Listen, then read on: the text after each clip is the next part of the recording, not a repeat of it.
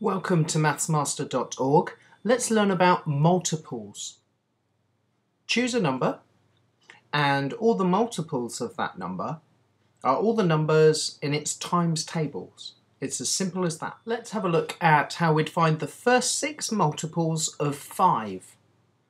So what you do is you do 1 times 5, 2 times 5, 3 times 5 and so on. The multiples of 5 are just all the numbers in the 5 times table. And we want the first six of them, so the first six multiples of 5 are 5, 10, 15, 20, 25 and 30. Now, we've been asked to find the first five multiples of 10. So we just think of all the numbers in the 10 times table.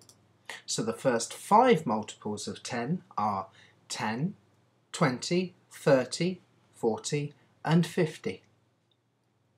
What about 18 as a multiple of 3? Is 18 a multiple of 3?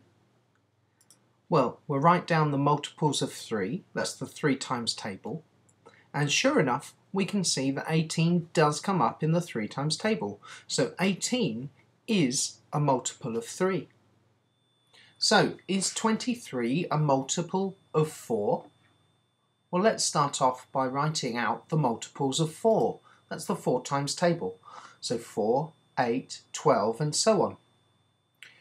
Now, does 23 appear in the 4 times table? Well, no. 20 and 24 do, but 23 doesn't. So 23 is not a multiple of 4. That was multiples. If you want to see some more great maths videos, please visit mathsmaster.org.